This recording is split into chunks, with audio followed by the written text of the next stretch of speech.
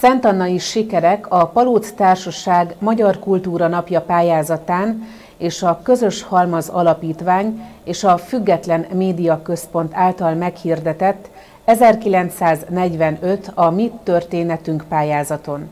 A részletekről Gyermán János szaktanárt kérdeztük. A Palóc Társaság 25. alkalommal hirdette meg történelmi tanulmányírói pályázatát, amelynek célja a szülőföld iránti hűség erősítése, a magyarság tudat elmélyítése a felnövekvő magyar ifjúságban.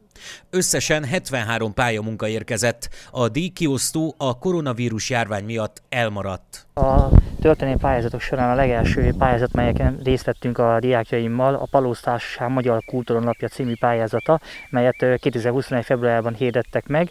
Itt szerencsére nagyon sok pályamunka érkezett be az iskolánkból, és büszkén mondhatom el, hogy nagyon sok tanuló ért el kiemelt eredményeket. Nem elég csak a személyes ismeretek felhasználata, vagy használata, hanem fontos kutatómunkát végezni kell itt a diákoknak. Itt általában tanulmányköteteket szoktak olvasgatni, vagy szakkönyveket vagy folyóiratokat szoktam én nekik ajánlani, de rengeteg önálló kutató munka is van az ő részükről.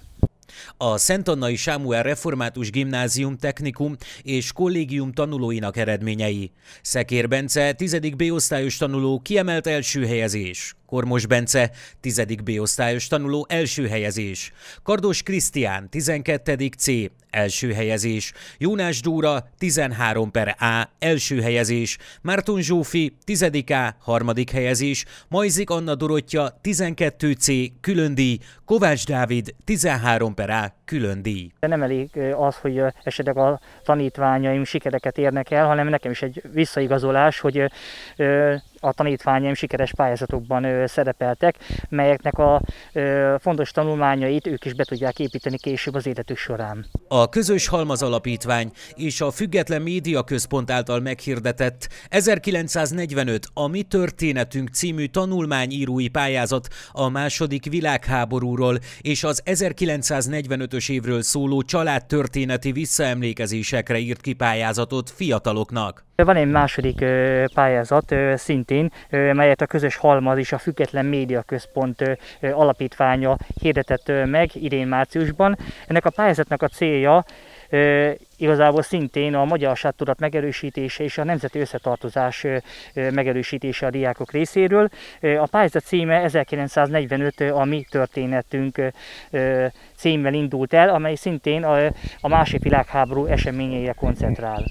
Több tanuló küldte el a pályázatát, a tanulók közül ebben a pályázatban szintén szép eredményeket ért el Kormos Bence 10.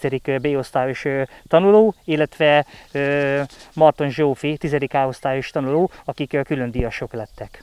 Kardos Krisztián pályabűnvének címe Trianon tragikus története volt, amelyben az 1945-ös eseményeket dolgozta fel, és az első díjat hozta el számára. Az én pályázatom Trianonnak a tragikus történetéről szólt, ami 1945-ös világháború után történt cselekmények, ami befolyásolta Magyarországot. Ugye a szovjet csapatok bevonulása, akik kiűzték a németeket, és ezáltal történt cselekmények. Sokat olvastál hozzá? Tehát korábban is érdekelt ez a kor, vagy most inkább csak a pályázat miatt mélyedtél ebbe bele? Korábban is érdekelt engem ez a kor, mert ugye a kedvenc témám úgymond az egész történelemben inkább az ilyen háborúsabbak, de leginkább így a második világháború. Ez a téma úgymond nem azt mondom, hogy közel áll szívemhez, de nagyon szeretem, mert sokat is kutatok mindig, meg sokat nézem ezeket a történeteket, amik voltak, és... És akkor most ezeket a eseményeket összegezted, amit eddig összegyűjtöttél. Voltak benne családi, személyes megszólalások is, vagy, vagy inkább csak amit olvastál, arra hagyatkoztál? Hát úgy leginkább, amiket olvastam, arra hagyatkoztam, de akit úgymond kiemelnek a családból, az papámnak a bátyja, aki harcolt úgymond benne, és ugye nem azt mondom, hogy elfogták, de egy táborba került, és úgy veszette életét. Tehát akkor ő neked első kézből adott ehhez információkat? Hát igen, igen. És mondjuk mit szólt ahhoz, amikor megkerested, és mondtad, hogy szeretnéd, ha egy kicsit ö, mesélne erről a korról, ami azért számára biztos, hogy nem egy egyszerű történet volt. Hát örült is neki, meg nem is, mert ugye szívéhez szól, de Azért örült neki, mert azért tudott az unokájának mesélni, ami volt régebben a rendszerváltás előtt. És akkor, amikor elkészült a dolgozatod, akkor megmutattad neki? Hát úgy nem mutattam meg, mert azért vártam, hogy milyen eredmény szül belőle, de így, hogy mondtam, hogy sikerült elsőjezést érnem, így megmutattam neki, és büszke volt rám. Lesz folytatás, tehát ö, lesz másik pályázat, amire majd elindulsz? Hanyadikos vagy most? Én kettedikes végzős vagyok. Hát lesz, lesz, mert még szeretnék ezekben úgymond mozogni, ezekben a körökben, meg tetszik is, hogy így tartalmakat kell gyűjteni ahhoz, hogy így tanulsz belőle, meg érdekesek is. És merre felé mész tovább tanulni? Hát úgy tovább így az érettségit azt le, le szeretném tenni, és meg is lesz. Optimista vagyok hozzá. És utána meg inkább így szakma felé irányulok, és azon belül is festőt szeretnék lenni, abba szeretnék elhelyezkedni. Hát akkor nem vonzod a történelem esetleg valamilyen vonalon? Hát úgy nem, de azért, hogyha van valaki megkérdez az utcán, vagy bárhol, például családon belül, hogy mi volt ez, meg az, szívesen segítek. Azért nem egyszerű most nektek érettségére készülni. Hát igen, nem egyszerű, sajnos ez a vírus helyzet miatt így nagyon megállt úgymond az élet az iskolában, meg úgymond az egész világon, de így kicsit nehéz, de azért muszáj teperni, hogy meglegyen. Azért a jó jegy, meg a továbbtanuláshoz a szükséges alapok. Majzik Anna Dorottya külön díjat kapott Trianon tragédiája pályázatára.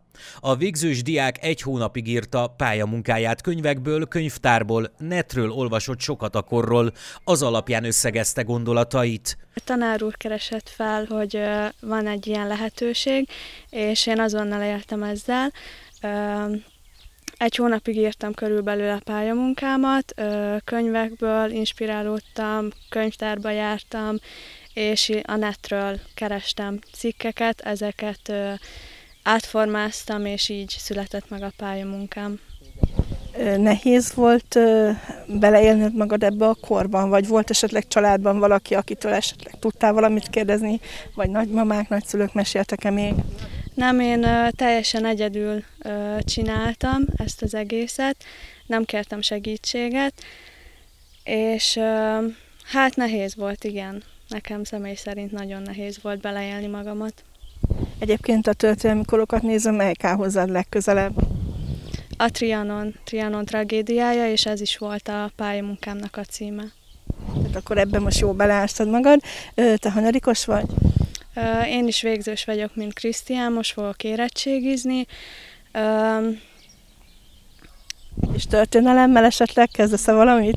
Nem, ez csak a, gimnázium alatt. Mindig, amikor volt lehetőség versenyre, vagy pályamunkát készíteni, most is benne vagyok még kettő vagy három versenyben, aminek nagyon örülnék, hogyha sikeresen, tehát itt is eredményt tudnék elérni.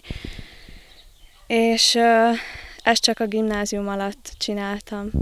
És mennyire volt nehéz mondjuk, hogy ezek a versenyek egyrészt azért máskor is ilyen beküldéses kutatós volt, tehát amit előre kellett pályamunkákat írni, de egyébként mennyire nehéz, amikor online kell valamit elkészíteni, vagy nincs ott a zsűri, aki esetleg visszakérdez, segít neked, hogyha elakadsz.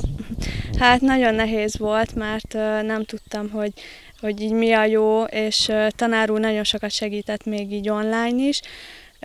Hát sokkal nehezebb, mint amikor iskolába járunk, mert akkor azért tud tanár úr segíteni, óra végén megnézi a pályamunkát, hogy hol haladok, esetleg mint javítsak, de hát egyedül is meg tudtam oldani, hál' Istennek. Gratulálok a külön díjathoz, és az online oktatásban mi most a legnehezebb számodra így érettség előtt azért néhány héttel? Köszönöm szépen. Hát a matematika nekem is, az sokkal nehezebb megérteni. Már tanulom a tételeket, tehát készülök az érettségire. Sokkal nehezebb, hogy nem az iskolában vagyunk, és magunktól kell felkészülni, de remélem, hogy sikeres lesz. És mondjuk osztálytársakkal cseréltek tételt, és akkor mindenki segít a másiknak kidolgozni, vagy összeültök online módon. Tehát ez hogy zajlik? Igen, megpróbálunk egymásnak segíteni, és szerintem halad is ez, tehát mindenki próbál mindenkinek segíteni. Én is az egyik unhelysi osztálytársammal mindig össze szoktam ülni, és akkor tanuljuk a tételeket, és készülünk az érettségire, tavalyi példákat nézünk, meg az előző érettségiket, úgyhogy próbálunk készülni és segíteni is egymásnak.